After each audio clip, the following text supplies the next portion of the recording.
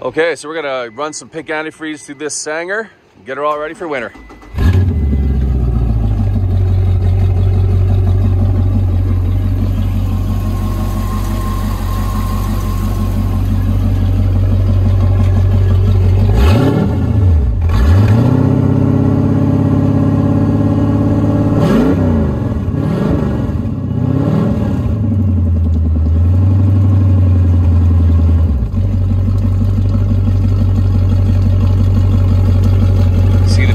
Antifreeze coming out the exhaust system there.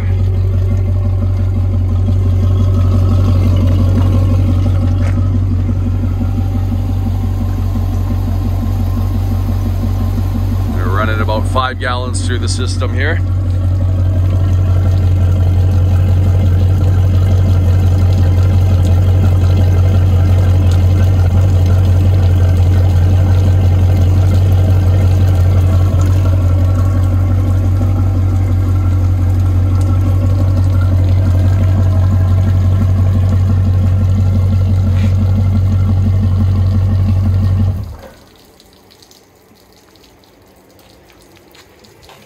And we have just finished running five gallons of pink antifreeze through this boat's cooling system.